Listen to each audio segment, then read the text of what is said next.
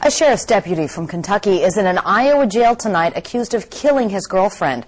Kentucky police say Randall Creek murdered his girlfriend at her Kentucky home on Sunday night. On Monday, Kentucky authorities suspected he was in Iowa.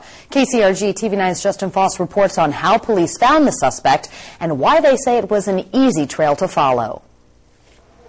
Consider this a reason not to brag. After fleeing Kentucky, Randall Creek stopped at the North Liberty Library to taunt police officers who were looking for him nearly 500 miles away. He emailed saying he wasn't going to put up a fight. However, he was going to make the Kentucky State Police earn their money.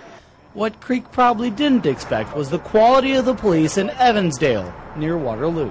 I think it goes back to you can run, but you can't hide. I mean, well, you know, we're going to find you eventually. Within hours of the email, investigators back in Kentucky traced Creek to North Liberty and then alerted officers in eastern Iowa. Thirty minutes later, police found his truck at a hotel in Evansdale. He told the Kentucky State Police that they'd have to earn their money to find him. But the Iowa officers said it wasn't that hard. When he checked into the Days Inn, they said he used his own name.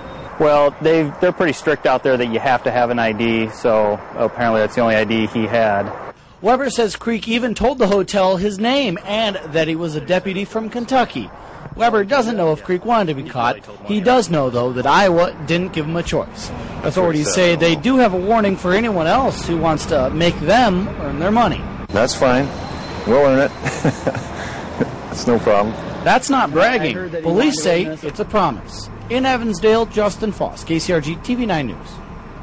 Kentucky authorities say Creek wrote about being upset with his girlfriend's relationship with him in these emails. Until this, he had a clean record. He now faces extradition to Kentucky on those murder charges. The state